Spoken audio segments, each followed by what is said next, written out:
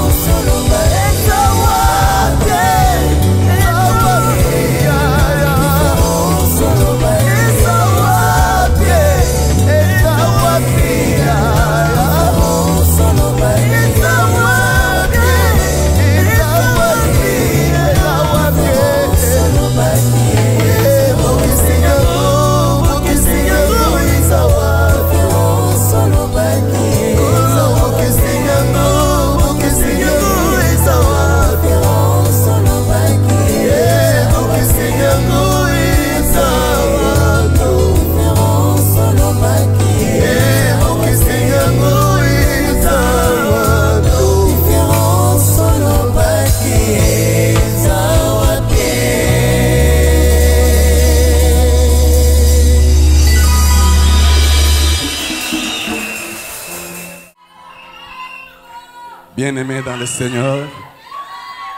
Chers frères et sœurs, distingués invités, bonsoir. Bonsoir. Nous allons nous acquitter d'un agréable devoir. C'est celui de saluer la présence des éminentes personnalités qui ont bien voulu nous honorer par leur présence. Nous pouvons constater la présence d'éminents hommes de Dieu autorités politico-administratives. Certes, nous ne saurons pas citer énormément tout un chacun de vous, mais rassurez-vous que votre présence nous fait énormément du bien. Nous manquons les mots pour pouvoir exprimer toute notre gratitude, mais veuillez trouver en ces petits mots toute notre sympathie à votre égard. Notre prière est que le Seigneur puisse porter un regard favorable sur vous et surtout que des mois que nous allons passer ensemble soient des moments pleins, pleins de grâce et de convivialité. Néanmoins, permettez-nous de vous présenter quelqu'un qui est pour les étoiles de louange un ange du Seigneur. Je dis bien un ange pour les étoiles de louange. Ça rime bien. Nous étions comme quelqu'un qui était en train de se noyer et en se débattant pour la survie, cette personne est venue nous tenir la main et nous tirer d'affaire.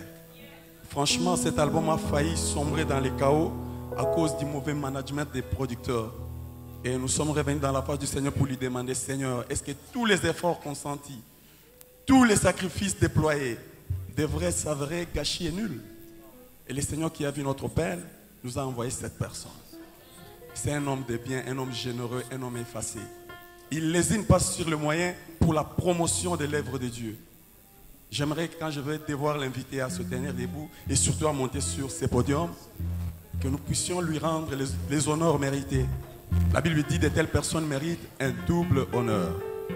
Est-ce que vous voulez que je vous les présente Je vais citer notre papa Roger Gosaki et Benezer.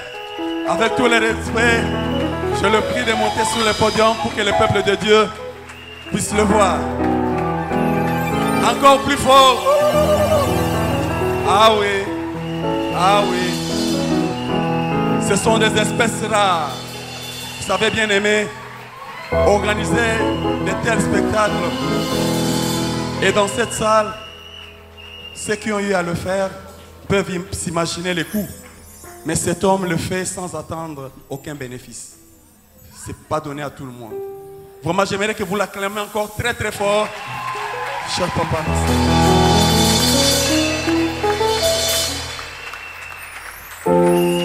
Merci, papa. Vous pouvez regagner votre place. Que le Seigneur vous bénisse. Vous acclamez très fort pour ces monsieur. Il vient du Congo d'en face. Shalom bien-aimé. Ne pas vous présenter quelqu'un ici dans cette salle, une autre personne, ce serait un outrage et un péché pour les étoiles des louanges. D'autant plus que c'est les promoteurs, les fondateurs, les visionneurs de ces groupes. Vous savez, Dieu a tout créé, mais il a donné aussi à certaines personnes un esprit imaginatif et créatif